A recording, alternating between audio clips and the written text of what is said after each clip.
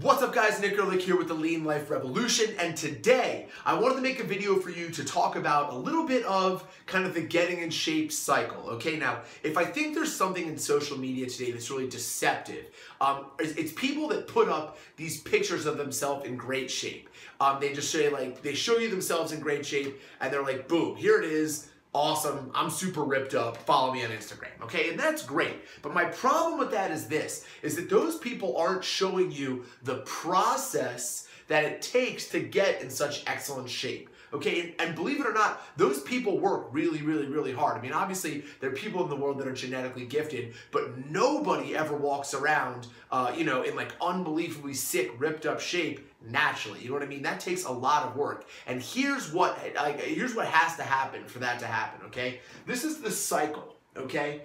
Number one, this first leg of the cycle is you find a weak point, okay? So maybe your weak point is, is that you can't squat very well. You don't have a good kind of movement-based squat position, okay? So the next step is, after you find your weak point, you're squatting, is to go to the next phase, which is to bust your ass to fix it. You know what I mean? Now you put in the work, you put in the hours, you put in the time to fix that weak point, and boom, the third step is that you fix that specific weakness. Okay?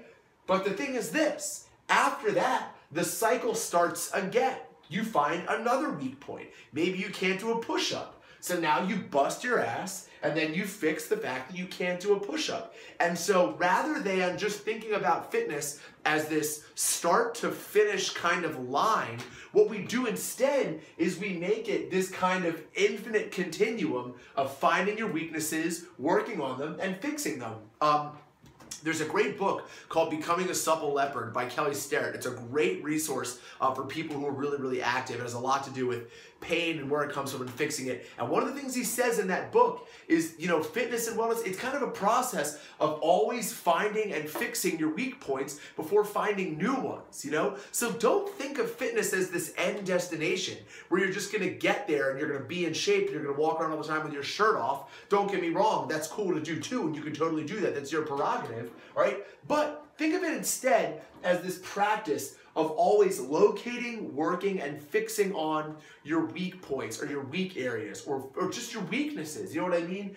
Me personally, I'm a terrible bench presser. I don't have a very good bench press. So there was a long time where I found a spot where I could work on my bench press technique and ultimately I went from a terrible bench presser to a bad bench presser. I made progress there, okay? But the fact of the matter is, is that I love using this model to always look for my weak points, work, and then fix them. Okay? So think about this when you're thinking about your fitness journey. Don't think of it as directions to an endpoint. Think of it as this continuum where you keep going around, finding the weaknesses, working on them, fixing them, finding a new weakness, working on it, fixing it. Because this is really the way to enjoy the journey of getting in really good shape. And that's what I want for you to enjoy the journey of getting in great shape. Thanks for checking us out. Click on this icon in your top corner to connect with us and make sure to subscribe because I want to help you get there. Thanks for joining the revolution. Have a great day.